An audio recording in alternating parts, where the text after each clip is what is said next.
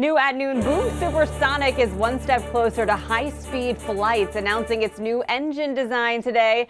The high-speed airline company will work with Florida Turbine Technologies, GE, and Standard Aero to build the Symphony engine, which will power the plane.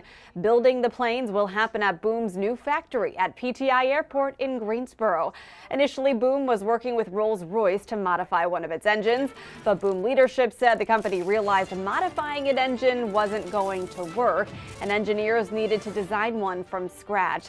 The Boom Supersonic CEO explained the custom engine will make supersonic flight a reality and also make the cost cheaper for future passengers. This engine design achieves 25% more time on wing. What that means is the airplane and the engine can keep flying 25% longer before it ever has to come down for maintenance. This results in less disruption to service and significantly reduced costs. If we look back across history, great airplanes and great rockets have always been made possible by great engines. Indeed, going all the way back to the Wright brothers. Made in North Carolina. United and American Airlines, by the way, already have placed orders for the Overture planes. Boom is also partnering with Northrop Grumman to develop high-speed defense plans for the U.S. Air Force.